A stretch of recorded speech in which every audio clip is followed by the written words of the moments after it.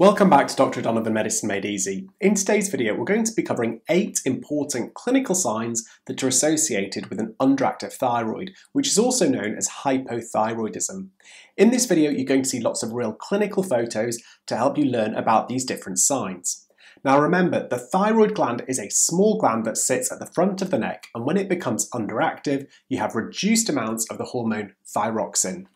There are lots of different causes of hypothyroidism, and I won't name them all, but they include things such as autoimmune disease, inflammation of the thyroid, which is known as thyroiditis, iodine deficiency, as well as side effects from medications, amongst others. So without further ado, let's cover the eight clinical signs that you might see in someone with hypothyroidism. And please remember that just because you might have one or two of these signs does not necessarily mean you have hypothyroidism. So number one is something called eczema craquelé or asteatotic eczema. This is basically a form of dermatitis in which there's crazy paving splitting of the surface of the skin. It usually begins as dry skin and as the disease becomes more severe, the skin can crack and cause fissures. These fissures are the result of water loss from the surface of the skin. It typically occurs especially in winter months when the skin is more at risk for becoming dry and it is more common in the elderly. The eruption can typically occur on any skin area, but it most often presents on the front and side aspects of the lower legs, but it can also be present on the back, trunk, and arms. Now, management of this is usually with emollients and topical steroids, and of course, treatment of the underlying hypothyroidism. Now, the second clinical sign to be aware of are cold peripheries with pale and dry, coarse skin. Often this dryness is due to decreased sweating, though the exact connection between the thyroid and sweat glands is unclear. Now moving on, let's discuss clinical sign number three, and this is a yellowish hue to the skin which is secondary to carotenoderma. Now carotenoderma is the yellow-orange discoloration of the skin due to carotenemia, which is a condition where the blood level of beta-carotene is above the normal range. Now, this is not just found in hypothyroidism, it can also be seen in other conditions like diabetes, liver disease, and kidney disease, and it's important not to get it mixed up with jaundice, which can look quite similar. Now, I've included more information on this sign in the description box of the video if you want to do some extra reading.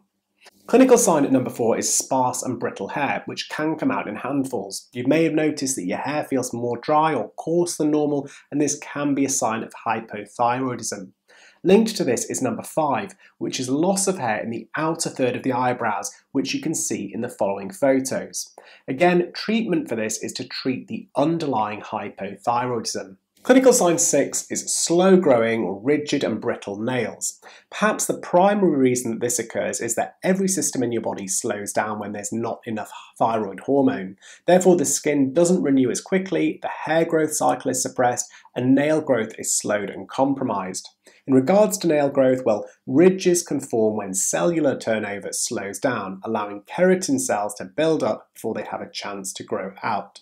Number seven is something called myxedema. This can occur in long-standing cases of hypothyroidism or severe hypothyroidism, resulting in puffy face, eyelids, legs, and feet. Now, myxedema describes a specific form of tissue swelling due to deposition of cutaneous tissue, which you can see in these photos.